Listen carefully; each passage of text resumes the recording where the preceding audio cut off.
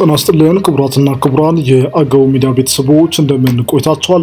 የዕለቱን መረጃ ወደ እናንተ ለማድረስ ቀርበናል። እስከ መረጃዎቻችን ፍጻሜ ድረስ አብራችሁን ቆዩ። ክቡራትና ክቡራን የቻናላችን ቤተሰቦች በዕለቱ ወደ እናንተ ከምናደርሳችሁ መረጃዎች መካከል በቅድሚያም ወቅቱ እየደረሰ ያለው ዓመታዊው የሻደይ በዓል በደመቀ ሁኔታ መከበር እንዳለበት እየተገለጸ ይገኛል። ሻደይ ታሪካዊና ጥንታዊ የአገው ሕዝብ የአደባባይ በዓል ሲሆን በሚመጥንና በደመቀ ሁኔታ መከበር እንዳለበትም ተገልጿል። ይህንን መረጃ በዝርዝር የምናደርሳቸው የሚሆነው በአገዎች ዘንድ በድምቀት የሚከበረውና በተለይ ደግሞ በዋግ ኽምራ አገዎች ዘንድ በድምቀት የሚከበረው ይህ ዓመታዊው የሻደይ በዓል ወቅቱ መድረሱን ተከትሎ የተላለፉ መረጃዎችና ወሳኝ ወሳኝ መልእክቶቹን በዝርዝር የምናስደምጣችሁ ነው የሚሆነው። በሌላ መረጃ ደግሞ በአገው ምድር አዊ ብሔረሰብ ዞን ውስጥ ያሉ የመንገድ ችግሮች ማህበረሰቡን ወደ ከፋ ማህበራዊ ቀውስ ማስገባታቸው እየተገለጸ ይገኛል። እነዚህ መንገዶች ክረምትና በጋ ሁሌም ከዓመት እስከ ዓመት ድረስ እጅግ ከፍተኛ ችግር የሚስተዋል ባቸው ቢሆንም በተለይ ዘንድሮ ግን የከፋ ችግር እየደረሰ በመሆኑ ነዋሪዎቹ አቤቱታቸውን አሰምተዋል። በዞኑ ውስጥ በሁሉም አካባቢዎች እጅግ ከፍተኛ የሆነ የመንገድ ችግር ያለ ቢሆንም ይህኛው ግን እጅግ የተለየና ከሁሉም በላይ ማህበረሰቡን እያጉላላ እንደሚገኝ ተገልጿል። በዚህ ዙሪያም ተጨማሪ መረጃዎቹን ቀጥታ ከቦታው ድረስ ነዋሪዎቹን በማናገር በስልክ ያደረግነውን ቆይታም ወደ እናንተ የምናደርስ ነው የሚሆነው። በዚህ መንገድ ብልሽት የተነሳ በርካታ ነፍሰ ጡሮች ህይወታቸው መንገድ ላይ ያለፈ ስለመሆኑም ተገልጿል። ሙሉን መረጃም በዝርዝር ትከታተሉ ዘንድ ግብዣችን ነው።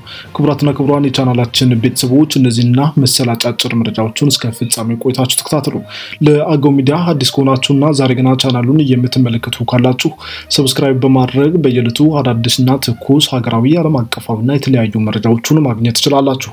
እንዲሁም ቪዲዮውን like በማድረግና ሀሳብ አስተያየቶቻችሁን comment ላይ በመጻፍም አብሮነታችሁን አሳዩን። መረጃዎቻችንን ለብዙሃኑ share በማድረግም እንድታዳርሱ በአክብሮት እንጠይቃለን። በቀጥታ ወደ መረጃው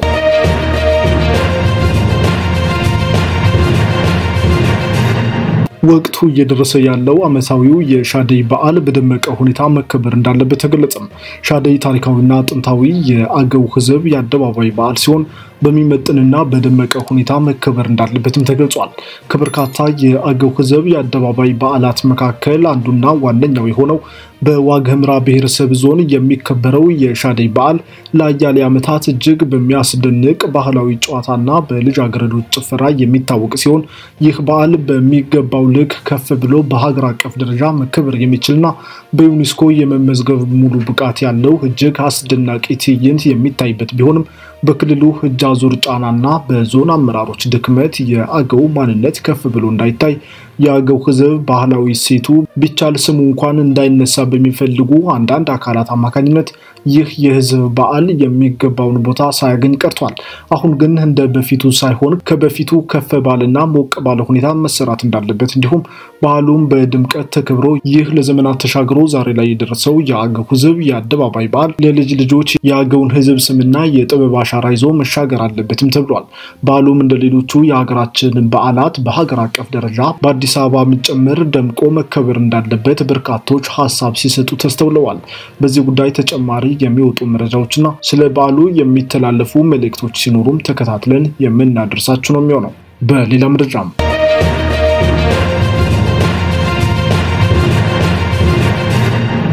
በአገው ምድር በአዊ ብሔረሰብ ዞን ውስጥ ያሉ የመንገድ ችግሮች ማህበረሰቡን ወደ ከፋ ማህበራዊ ቀውስ ማስገባታቸው ተገለጸ።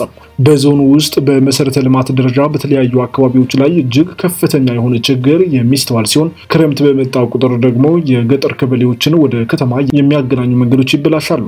ይህም መሆኑ ማህበረሰቡ የፈለገበት ቦታ በሚፈልገው ሰዓት መድረስ እንዳይችል ከማድረጉም በላይ የሚያስከትለው አደጋና ጉዳት ቀላል የሚባል አይደለም።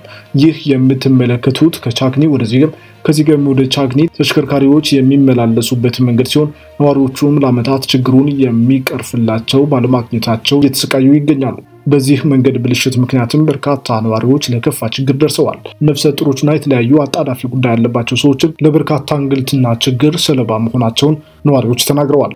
አጋጣሚ ከቻግኒ ወደ ዚገም የሚወስደው መንገድ ሆኖ አርባ አምስት ኪሎ ሜትር አካባቢ ነው ከዚገም ወደ ቻግኒ ያለው የቦታ ርቀቱ ግን የተበላሸው ከዚገም ማን ነው ከቻግኒ ትንሽ የተወሰነ ወደ አስር ኪሎ ሜትር እንደሄድን ነው ብልሽቱ ያለበት። ወደ ሁለት ኪሎ ሜትር አካባቢ መሆኑ ቦታ ነው የተበላሽቶ ያለ አካባቢ ላይ ማለት ነው። ከዛ ቦታውን ያው በመኪና በመከራ ጭቃ ነው መስመሩ። መኪና ተጎትቶ በመከራ ነው የሚ- የሚወጣ። ከዛም አልፎ ሄደን የሆነች ወንዝ አለች ሱስኒ የምትባል። እዛ ጋር አካባቢ ስንደርስ አምና ጀምሮ ያለውን ያልተቀረፈ ችግር ያለበት ድልድይ ትልቅ ድልድይ ነበረ በፕሮጀክት በፊት የተሰራ በመንገድ አሁን እሱ ተሰብሮ ዝም ብሎ ጊዜያዊ ነው የተሰራ። አምናም እስከ እንትን ድረስ እስከ ወረዳ ድረስ መመልከቻ ሲያስገቡ አይ እኔ ለአስፋልት መንገድ አስረክብ ያለው ነው የሚለው ወረዳ መንገድ ትራንስፖርቱ እና እነሱ ደግሞ አሁን ገና ስራውን ጀምሯል። ግን ዞሮ ዞሮ መኪና በመከራ ተጎጦ ነው በገመድ ስበነው ነው የምናስወጣው። ወርደን በገመድ ስበን ይሄንም ውሃውንም በእግር ሁላ ተሸግረን ማለት ነው። በእግራችን ተሸግረን ስበን መኪናውን እናሻግረዋለን። በየቀኑ ነው። አዎ አሁንም ክረምት ትንሽ እንትን ስላለ ነው እንጂ አምና ራሱ ሁለት መኪና ሆኖ እህ ከዚህ ገም ቻግኒ ስልሳ ብር ነበር ትራንስፖርት የነበረ አምና። እሺ አሁንም ተጨምሯል። እስከ ጭቃው ድረስ ሰባ ብር ትከፍላለህ። ከዛ በኋላ መቶ ብር ከፍለ መቶ ሰባ ብር ከፍለን ነው ስጓዝ የነበረ። በአጋ ሲሆን ደግሞ በዛ ልክ አቧራ አለ። አቧራ ችግር የለውም ያ ነው እንጂ አቧራማ በምንፈልግበት ሰዓት ራሱ መድረስ እንችል ነበር። አቧራ እኮ ችግር የለን። ከብደው ይሄ ስለሆነ አንደኛ ወለድ አለ፣ ምን አለ፣ የፍርድ ቤት ቀጠሮ አለ። እንደ ልብ አይገኝም። ብንሄድም ሁለት የተቆራርጡ በጊዜ በሰዓቱ አይ- አይደርስም። አሁን ቻግኒ እስከዛ ሁለት ሰዓትም አይወስድም ነበር በመኪና በፊት። አሁን ግን እንዲያው ደረሰ ቢባል እስከ አራት ሰዓት ከአምስት ሰዓት ነው የሚፈጀብን በመንገድ ብልሽት ምክንያት። አዎ ትራንስፖርት እጥፍ ነው የሚወስድብን ጊዜም እጥፍ ነው። ዞሮ ዞሮ ሌላ አማራጭም ስለሌለ አሁን ክረምት ሲገባ እንደዚህ ነው። ቅርብ ጊዜ ጀምሮ በቃ በተለይ በእኛ መስመር የሚሰማም ሰው አላገኘንም። ሁሌ ነው ይዝገም ሰው የሚጮህ ግን መፍትሄ ያገኘን አይመስልም። ያው እኛም በምንጠይቅበት ሰዓት በየአመቱ መንገድ እናስተካክላለን ነው የሚለው። ከአምና ጀምሮ ግን ያው አጋጣሚ ዚገምና ጓንጓ ወረዳ አጎራባች ወረዳዎች ጋር ያለ ጦርነት ስላለ መንገድን ዞሮ ያየ አካልም የለም። ከዚህ በፊት ግን በየአመቱ ሲስተካከል ነበር እስከ ክረምት ባለው ሰዓት ዞሮ እስከሚበላሽ ድረስ ማለት ነው። ራሱ በምንጠይቅበት ሰዓት እንዴት ነው ይሄ መስመር መቼ ነው የሚስተካከልልን ብለን በምንጠይቅበት ሰዓት አይ መንገዱን ለፕሮጀክት አስረክበናል እኛ የሚለውን መልስ ነው አምናም ራሱ የተሰጠን። የሆነ ድልድይ ሲሰበር አምና የሆነ መንቶሃ የሚባል አካባቢ ላይ ተገንጣይ ድልድይ አለ መሰለኝ የሆነ ብረት እሺ እሱ መጥቶ ምን አለ እዚህ ጋር ቢሆን ለህብረተሰብ እንደዚህ ከሚጉላላ አንደኛ እዚህ ጋር ወረዳ ማለት ትልቅ ሀብት ያለበት ትልቅ እህል ያለበት ቦታ ነውና የገበያ ትስስር ያለበት ቦታ ነው። ለምን እንደዚህ ህብረተሰብ ይሰቃያል? ለምን ወደዛ ይመጣልን ብለን በምንጠይቅበት ሰዓት እዛ ያው እንደዚህ ሆኖ በጭቃ ነው ስንመላለስ የነበርነ እኛ በምንጠይቅበት ሰዓት አመራሮችም የሚሰጡት መልስ አጥጋቢ አይደለም። ነገ ይሰራል ነው የሚሉት። አስፋልት ሆኖ ነገ ይሰራል ነው የሚሉት እነሱ የሚሰጡት ምላሽ ከፍተኛ ነው ችግሩ ያለ። ምክንያቱም በሰዓቱ አትደርስም። ወዳጅ በጣም ከደቀመች በኋላ ነው የምትደርሰው። እንግዲህ ቅድም እንዳልኩትም ሁለት ሰዓት የሚወስደውን መንገድ አራት ሰዓት ማለት አራት ሰዓት ድረስ መንገድ ላይ ቆይታ ከዛ በኋላ የምታገኘው ሕክምና እንትን ስላልሆነ በሰዓቱ የምታገኘው አይደለም። ያ ነው ችግሩ ያለ። እሱም አጋጣሚ ሆኖ ከኛ ጋር የሄዱ አንድ ፍርድ ቤት ተመላላሾች ነበሩ። እነሱን በምንጠይቅበት ሰዓት ማለት ነው ተቀጣን ነው የሚሉ በሰዓት ስላልደረስን ተቀጣን የሚሉ መረጃ አጋጣሚ ሲናገሩ ነበር። ይሄ መንገድ ችግር ነው ብለንም አንሳ አይሰማም የእኛን ችግር የሚረዳ መቼ መንግስት አለ እያሉ ሲያወሩ ነበር።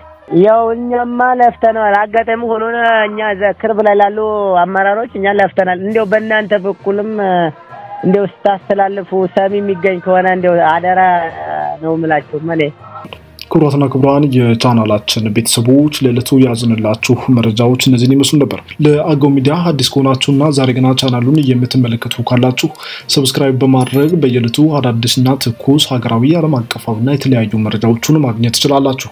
እንዲሁም ቪዲዮውን like በማድረግና ሀሳብ አስተያየቶቻችሁን comment ላይ በመጻፍም አብሮነታችሁን አሳዩ። መረጃዎቻችንን ለብዙሃኑ share በማድረግም እንድታዳርሱ በአክብሮት እንጠይቃለን። ቀጣይ በሌላ መረጃ በሌላ ቪዲዮ ተመልሰን እስክንገናኝ በያላችሁበት መልካም ቀን መልካም ጊዜ ተመኛለሁ።